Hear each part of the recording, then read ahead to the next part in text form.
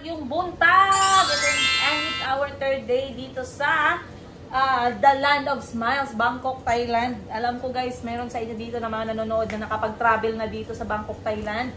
At, ah, at alam ko naman na hindi kayo binigo ng bansang ito. At katulad ng iba sa inyo na nag-a-adulting, ayan, nabudol tayo guys sa paglabas natin kahapon. Dahil Nakita niyo sa recent upload natin, pumunta kami sa malapit na mall dito guys. Ang tawag ay Central Westgate. Apakalaki talaga. At talagang mabubudol ka. Hindi ko alam, parang meron silang way ng pagplano ng kanilang mga tindahan na talagang mabubudol ka. Unang-una, yung kanilang mga restaurant ay nasa taas. So kapag gusto nyo lang kumain, hindi maiiwasan na makadaan kayo sa magagandang mga shops at mapabili kayo ng mga sandal, mga bag, mga damit bago kayo kumain. So talagang budol is real guys. At kahapon, pinikit ko talaga yung mga mata ko dahil ayokong mabudol at ang aking budget ay super tight. Pero naka, napadaan tayo ng IKEA at alam nyo naman guys, ang IKEA ay merong lumay. Merong ano yung IKEA eh, meron siyang, ano tawag mo ng lumay? Achi? Um, Gayuma. Aha. Ang IKEA ay merong gayuma para sa atin. ha? Hindi na, hindi lamang para tawa yung mama ko. Hindi lamang para sa mga ah, mga nanay, hindi lamang para sa mga may pamilya na ah, kundi kahit sa mga single na katulad natin, no, 'di ba? So yung single nanay ang ibig kong sabihin, guys, kayo talaga. so, gusto ko ang ipakita sa inyo yung mga nabudol sa akin ng IKEA. Ito po, apakalaking bag.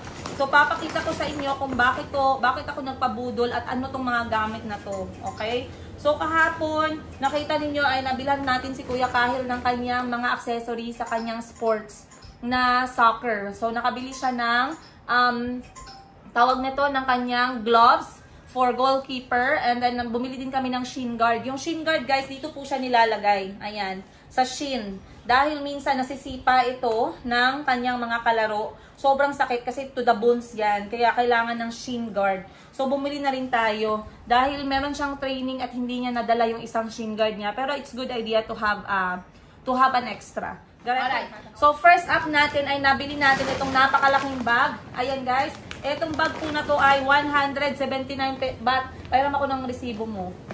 179 baht lang to guys. Itong bag na to, ang ganda po niya, ang tibay, napakaganda ng handle. Bakit ako bumili nito? Dahil minsan nag-grocery ako, nabubudol ako ng eco bag. Eh, ang liit din ng eco bag. Pero at least ito, napakalaki niya na guys. Kahit ako pwedeng umupo dito sa bag na to. Nakita ang bag. Ayan. So, etong bag lang na yan guys, 179. Ang tawag dyan ay carrier bag. 179 baht or, ayan, 179 baht or around um 250. Huh?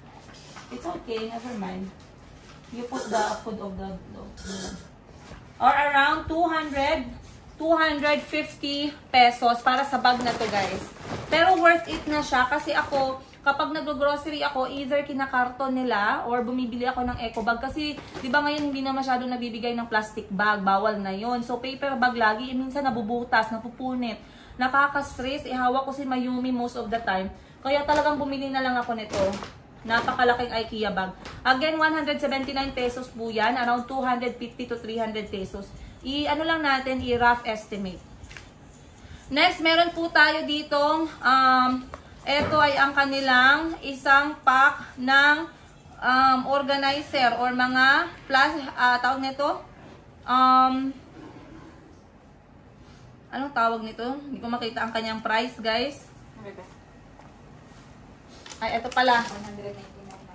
109. This is uh, 0.40. Pruta. Eto, kung pumu- pumupunta kayo sa IKEA, guys, kahit saan po na IKEA, talagang hindi mawawala ito. Dalawang kulay ito eh, green tsaka orange. Then, eto po ang kanilang, ang laman nito guys, ah, ha?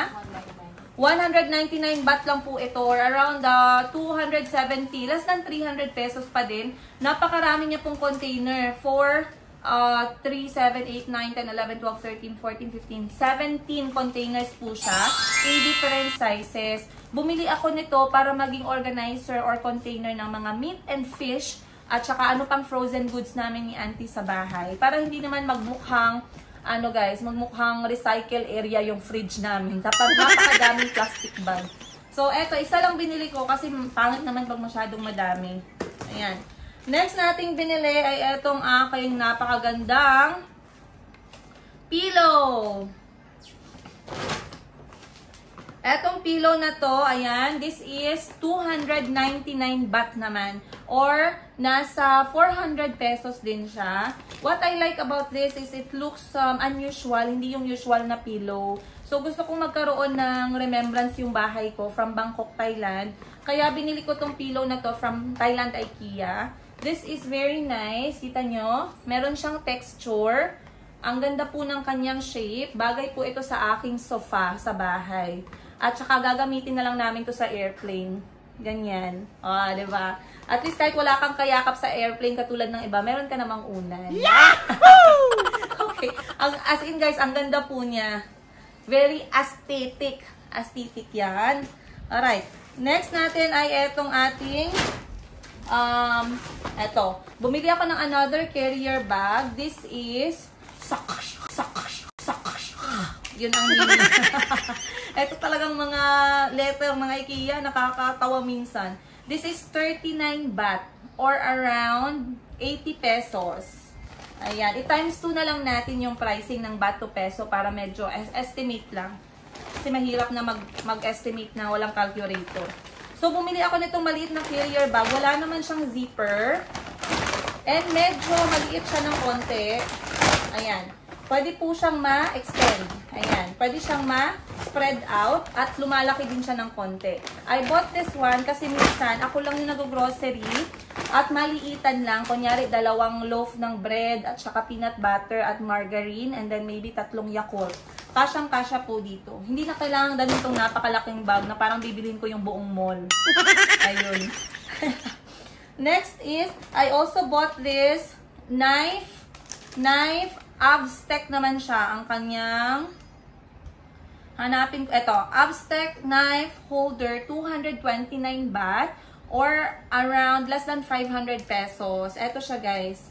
So this one basically is a knife and kitchen scissor container or organizer. Very aesthetic. Wood po yung sa taas niya and then white siya dito. So minsan kasi nakikita ko si auntie naghahalo yung kutsilyo sa mga luwag. Ayun, sa mga kutsarang malalaki. So, binili ko to para lang talaga sa kutsilyo. Ilalagay ko lang talaga sa napakagilid and then organize ko lang dito yung gunting, yung kutsilyo para naman maayos at safe silang lahat. Ayan, alam ni auntie kung saan ilalagay. So, this one, I got this. Next natin ay bumili din po ako ng bumili din ako ng this one is a tissue holder para sa aming dining area. Ayan. This is, wait lang ha, tingnan natin kung meron po siyang name. English. Wala po siyang ano eh, wala siyang, uh, wait, carrier bag, knife sharpener, toy food. Uh, where is your toy, Kahil? Can you bring here? I want to show them. Ah, this one. Kahil, show me that box. That, that box that you bought, anak, please. This one here is a napkin holder. This is 199 baht or 400 pesos. What I like about this, it's very sleek and very light. I want to put um, table napkin here. Kasi minsan nahihirapan kami kumakain, gumaganon eh.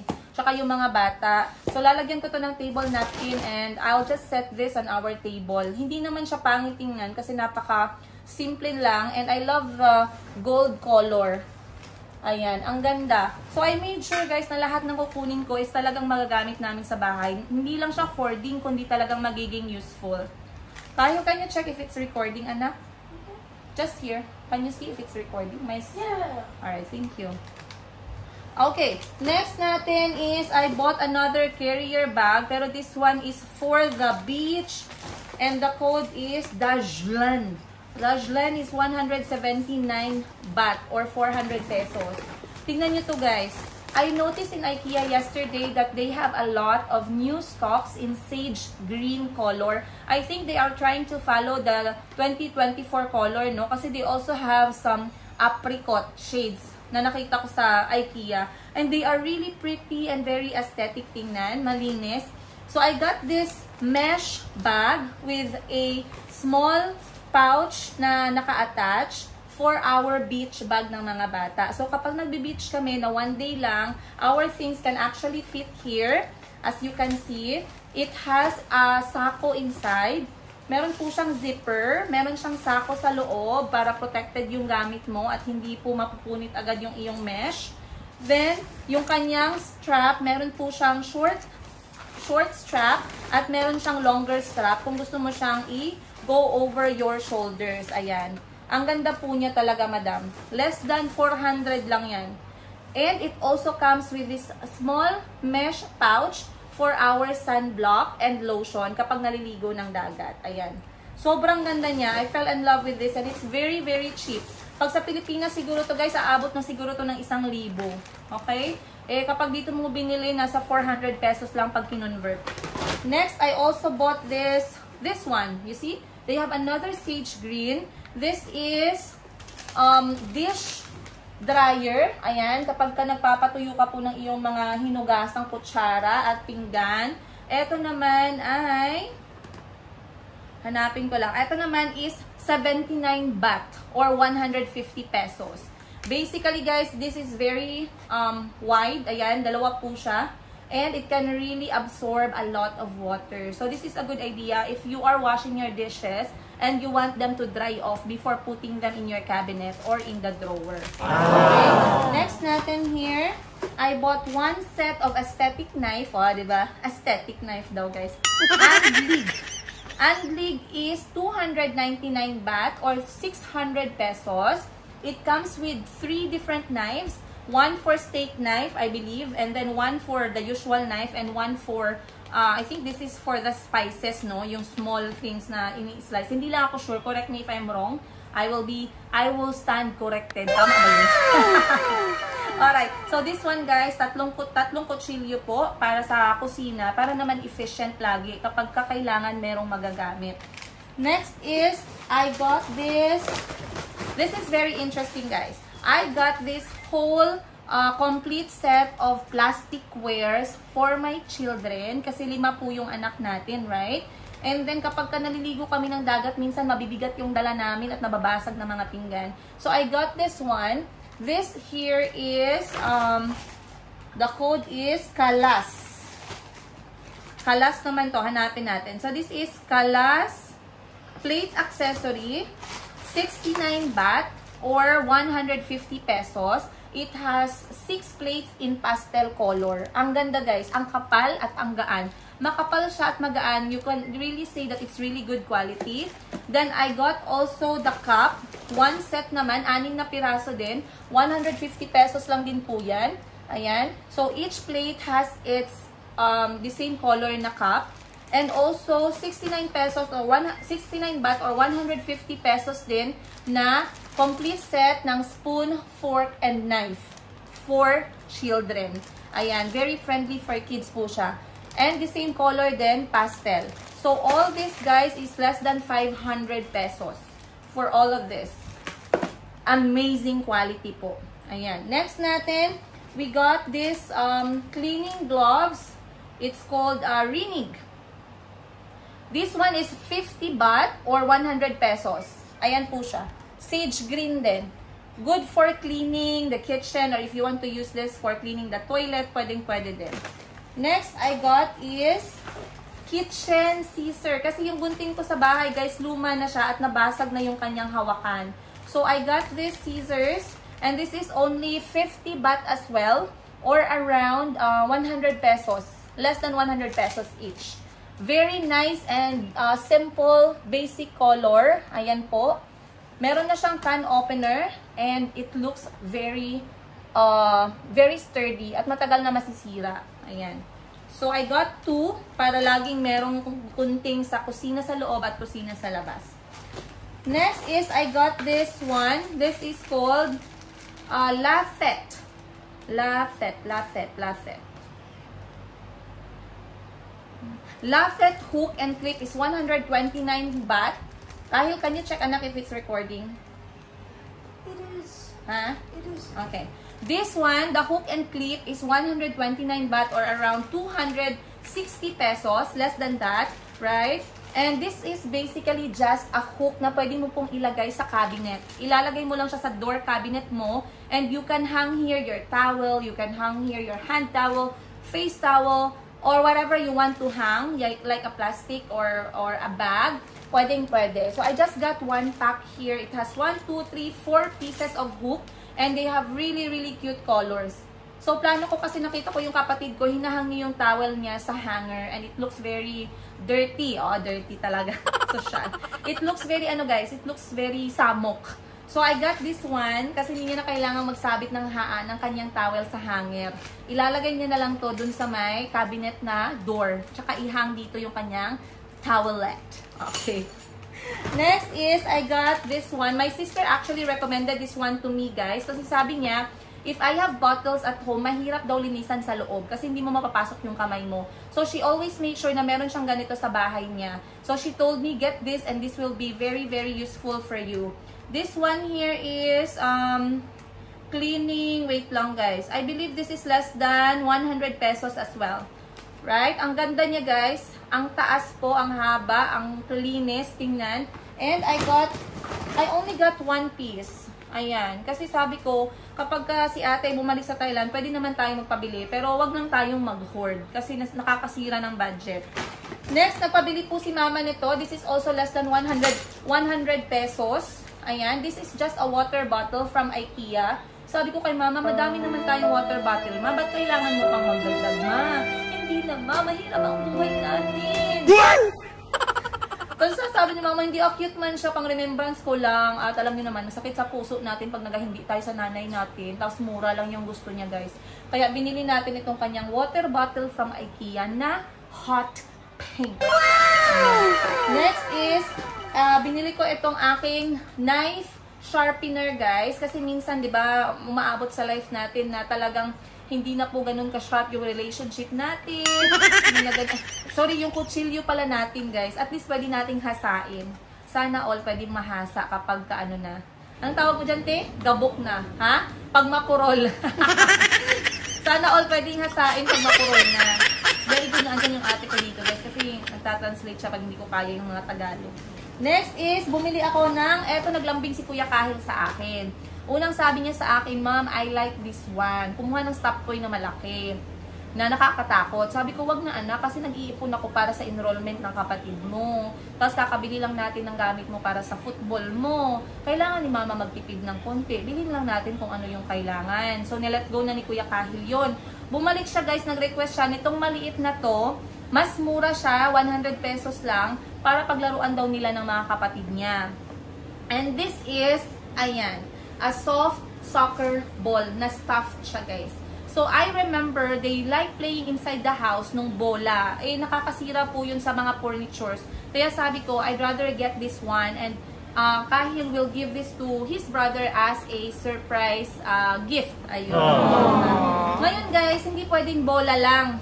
So, etong si Kuya Kahil ang talino, nag-research guys, nag-research siya at then nakita niya, nag-research siya sa kanyang cellphone. Ayan, ang cellphone, mamaya na natin pag-usapan bakit may cellphone si Kuya Kahil. Uh, nag-research siya agad sa cellphone niya at pinakita niya sa akin ang IKEA daw ay meron din daw silang um, soft soccer goal. So sabi ko talaga ba, in my head parang sana wala, ganun. Pero sabi niya meron daw. So nagtanong siya dun sa staff ng IKEA. Very smart boy. Sabi niya, do you have this one? Pinakita niya yung picture and then they said it's in stock. So bumalik kami sa third floor kasi naglambing si Kuya Kahil na dapat pag may bola, merong goal, uh, goal, ano yan? What do you call this, Kahil? Yeah. Goal what? It's called uh, a mini goal. Ah, kapag meron kang bola, merong mini goal, goal post. So, bumalik kami sa taas and then uh, hinanap namin and luckily, they have it in stock. So, eto po siya. Ayan, ganyan po ang itsura niya mga madam. Ayan po, as you can see. So, this one here is a um, a goal post and it also comes with uh, ah, it can also be a container for soft toys pala. So, this one is, wait, hanapin natin yung pangalan niya. Uh, Sports League. Sports League, Sports League. Sports League is, ito yung pinakamahala yata sa nabili namin. This one is 700 90 baht or around 1,500 pesos. So, sa nabili ko sa IKEA, ito po yung pinakamahal at ito po yung pinakamabigat. But I believe this is worth it kasi for long term po siya. And maganda siyang laruan for the indoors, lalong-lalo na ngayon na sobrang init. So, I can allow my children to play this in their own bedroom kasi hindi naman siya nakakasira at siya ay malambot lang. Kahit na uh, ihagis nila to sa isa't isa, hindi naman siya masakit. So, goods lang tayo dyan.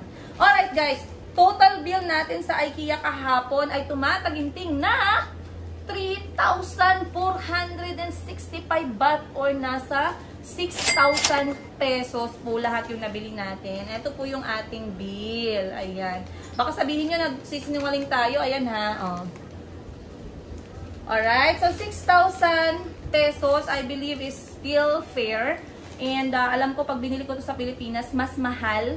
Alright? Or pag binili ko naman sa Shopee, baka mas pangit yung quality. So, I am happy and satisfied uh, na binili ko to. Ayan. At sana hindi na ako mabudol ulit sa IKEA.